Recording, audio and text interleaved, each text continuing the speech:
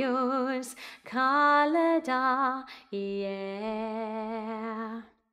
One happy birthday dot com.